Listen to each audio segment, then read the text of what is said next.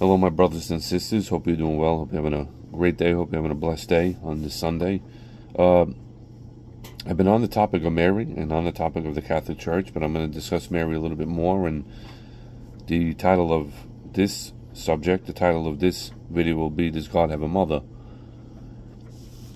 Now, I've stated before that Mary is highly favored. The Bible tells us that she was highly favored. She had an incredibly important job to do. Was Mary sinless? Was Mary perfect? No. There's only one who was perfect. There's only one who walked this earth, earth perfectly. That man's name is Jesus Christ. There is no grace in her. There is no putting her on a pedestal with Jesus. And like I said before, a lot of Catholics do. Not all, to be fair, but a lot of Catholics do. And a lot of churches do. They put her on a pedestal on the same level as Jesus Christ.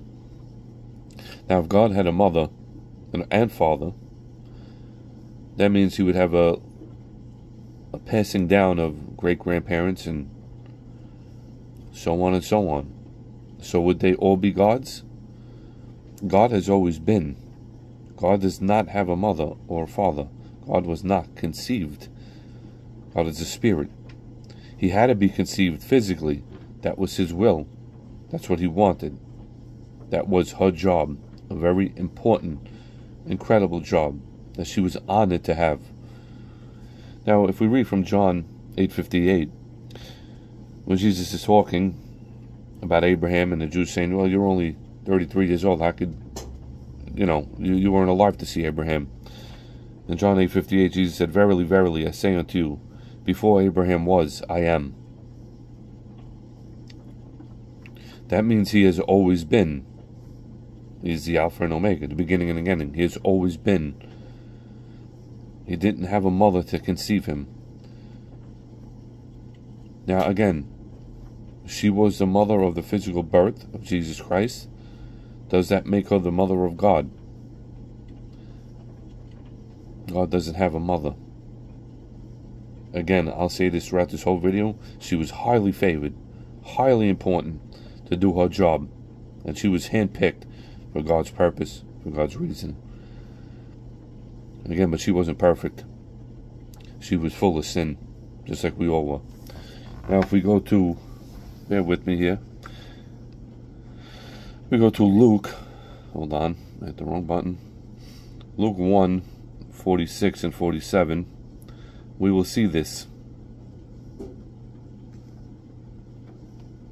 146 47. And Mary said, My soul that hath, doth magnify the Lord, and my spirit had rejoiced in God my Saviour.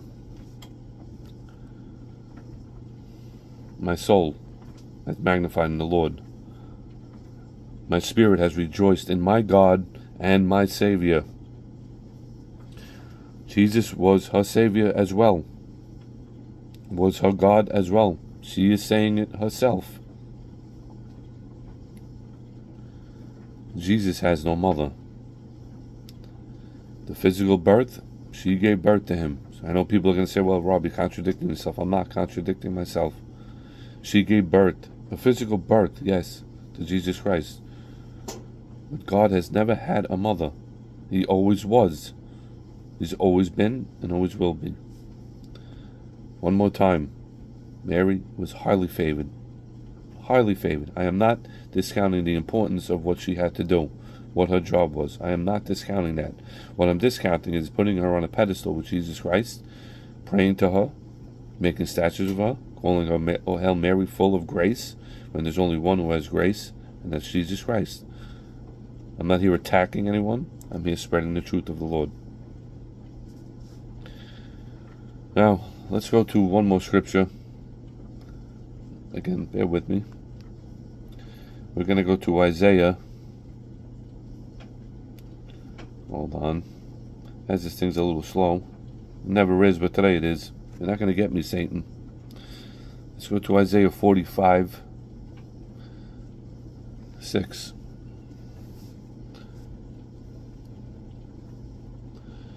Isaiah 45 6. That they may know from the rising of the sun and from the west that there is none beside me. I am the Lord, and there is none else. That they, that they may know from the rising of the sun and from the west that there is none beside me. I am the Lord, and there is none else.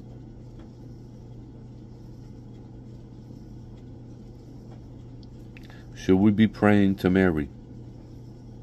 We be praying to anybody else but Jesus Christ, God Himself? Again, many Catholics put her on a pedestal, call her the Mother of God. And like I said before, physically she had a job to do to give birth to Jesus Christ. God wanted it this way, it was His will. And one more time, you're going to get tired of me hearing, hearing me saying this, but she was highly favored. I am not discounting her. I don't care how many times I'm going to repeat myself because I just want to make sure that people hear me. I'm not discounting the job that she had to do, the will that God had for her. It was an incredible, incredible honor to be handpicked for this specific part of God's will. But we should not be praying to Mary. We should not be worshiping Mary. If she was alive today, she would tell you the same thing. Do not pray to me. There is one mediator between man and God. We've talked about this before, and that's the man Christ Jesus. Jesus is the way to get to the Father because he is the Father. These three scriptures alone are going to show us that God has no mother. God has always been. There wasn't a God before him to give birth. There wasn't a male God and a female God, uh, you know, having a little fun together and giving birth to this God. It would just make no sense. So, yes, she was a physical mother. She gave birth. Yes, physically. Spiritually, no. He has no mother. Remember, before Abraham was, I am. Before everything was, I am. All things were created by him and for him. And he has always been. The Alpha and Omega, the beginning and the ending. Mary wasn't there in the beginning. He was. And he'll be there in the ending. Jesus Christ is everything. Make him your everything, not anybody else. Do not worship anybody else. God is only one. And there is none else. Isaiah 45 6. There is none else. I am the Lord. There is none else. I want to thank everybody for watching. Uh, it's been a pleasure to continue to do the work of the Lord. And uh, I pray that the Lord gives me strength to continue to spread the truth through Him. All the glory goes to Him. It's all about Him. This message is all about Him. And I pray that you also all give me strength to continue this work.